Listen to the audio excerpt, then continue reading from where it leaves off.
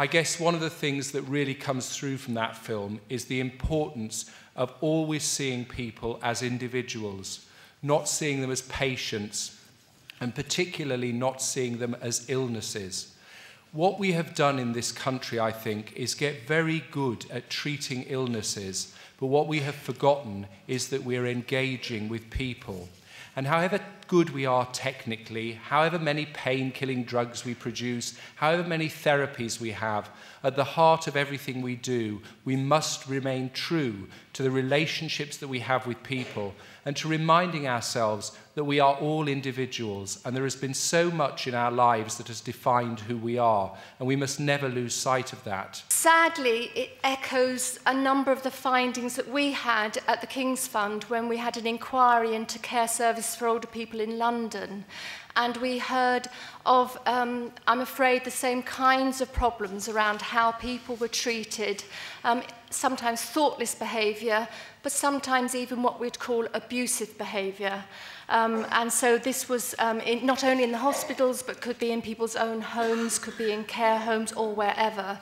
So we did hear in our, our inquiry about um, similar poor practice. But we also heard, I have to say, of absolutely excellent practice. And we met with staff and we spoke with older people, we spoke with their family and heard of people who went way beyond the requirements for their job to make sure that they were really engaging with people, really hearing what they wanted and giving absolutely first-rate care. Often within the health and social care system, when people are admitted, sometimes in crisis, there isn't very much time spent in trying to identify who they are and how they should be treated. We need to open the doors to our nursing homes and to our residential care homes, and this film is clearly one way of doing that.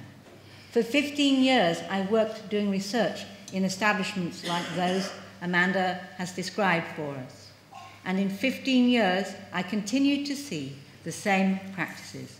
I saw good practices too, the kind of thing Penny has mentioned, and I've seen more and more reports saying the same thing.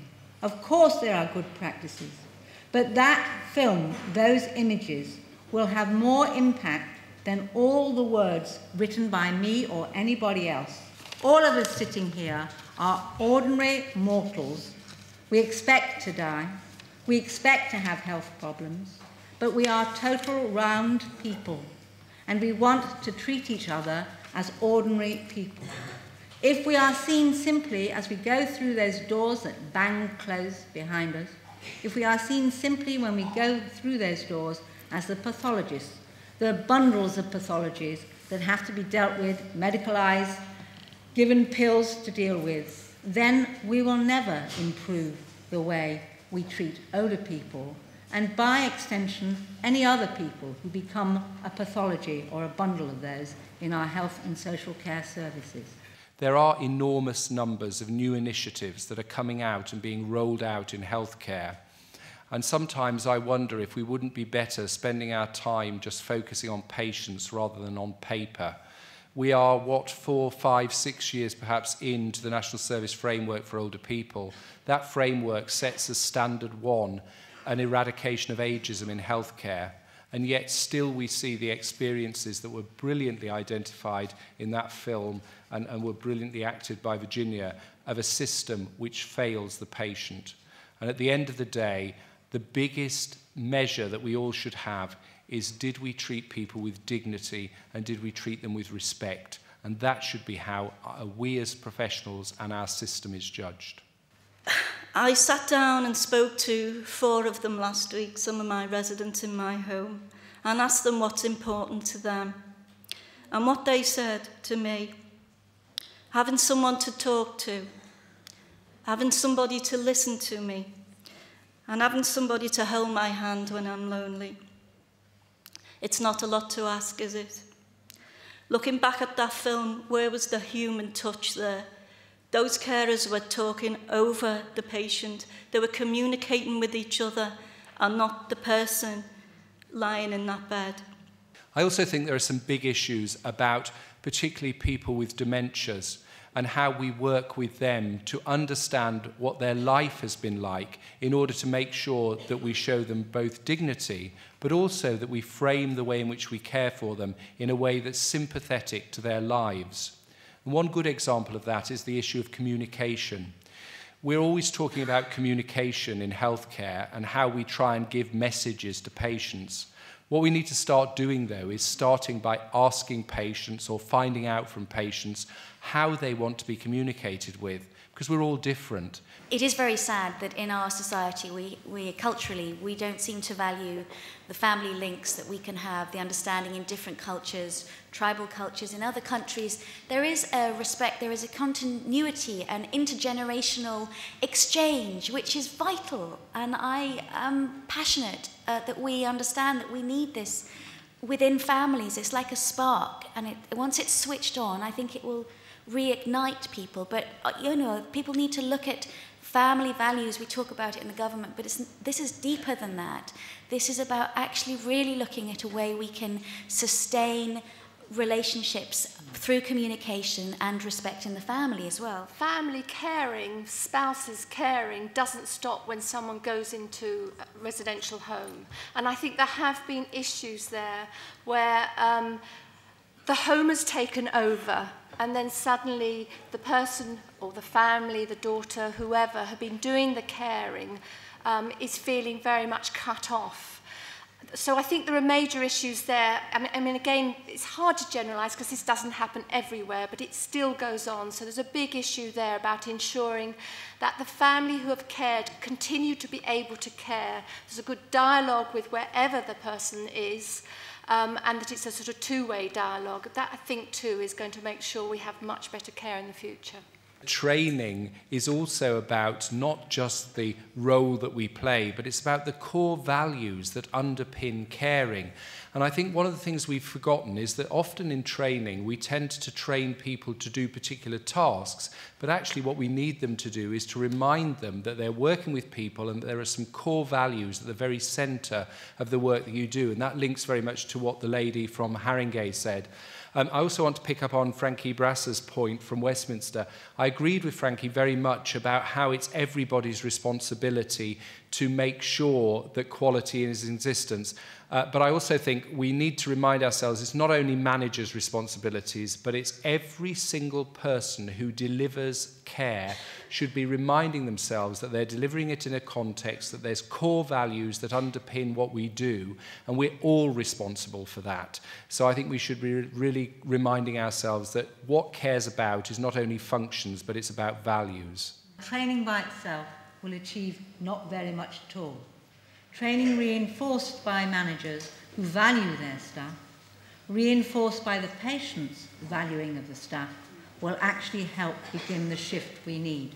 My own research many years ago showed that within 12 months, and I'm astonished it was in six weeks, but certainly within 12 months, staff properly trained in the best possible way had reverted to the old ways of doing things because that was how you did it there. And those who didn't were moved out and on, either of their own volition or because they weren't wanted.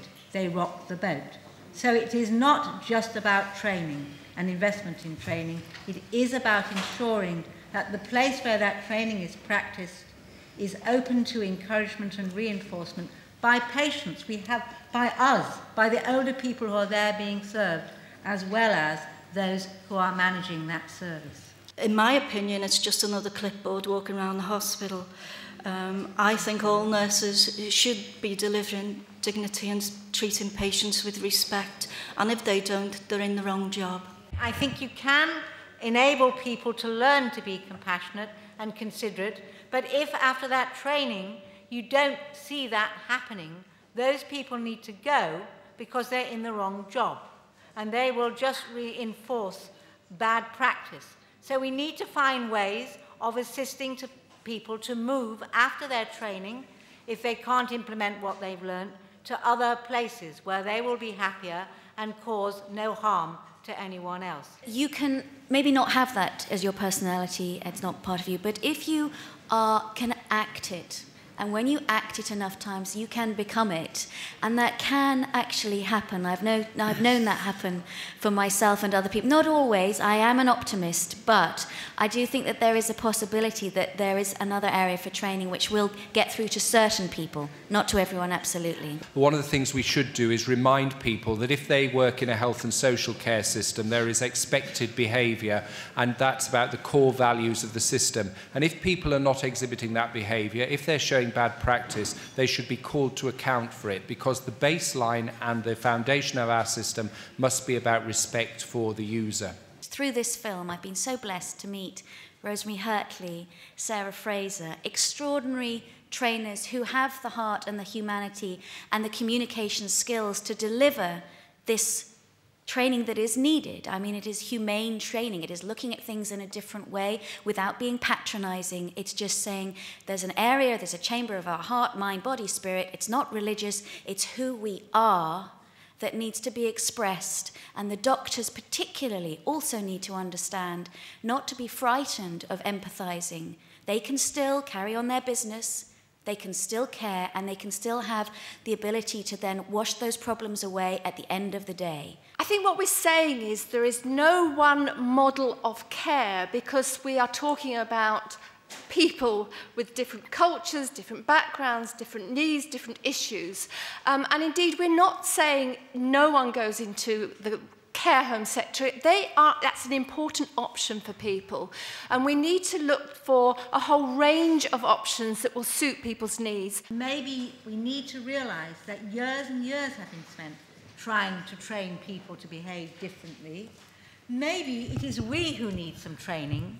Maybe we need some money spending on us so that we can learn to be more assertive, more not demanding, but at least enabled in a situation confronted by doctors or nurses so that we feel comfortable about saying just a moment rather than yes and no, sir, etc. What I'm not wanting to do is to criticize this film isn't about criticism, it's about supporting a different way. And that's why I don't mention the hospital. I don't want to undermine anyone's confidence. I think nurses have it hard enough, and particularly with the, the, the money and the, all that stuff at the moment as well, which I won't go into. But I think nurses, particularly, may not want to do this job if they know that there isn't the payment that they need or the respect from the management, etc., etc. So it is important to keep this momentum going from today, which has been a fantastic event and to keep this building and building and, and if nobody lets this seed die you know pass it down to the, the families down the generations. I think the key themes are absolutely essential if we're looking for change is around involvement involvement every single way which will be in training staff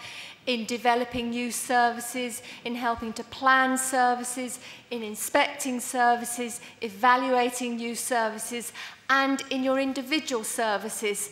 Um, it's that way that we really will see change. And we know a lot of it is going on, but there's a long way to go, particularly across other services, to make sure that that proper engagement and involvement that really actually causes change. Ah, you, you are incredible. The last thing I would say is, I have to say, that the word training came up over and over and over again. Keep that in mind. And volunteering to do things for yourselves is a very good idea. Thank you to a superb panel. They're absolutely marvellous, every one of them. I think a special thank you for Amanda, who, as well as looking absolutely smashing, has produced a great film. And thank you all for letting me come and, and, and chair you again, and happy journey home.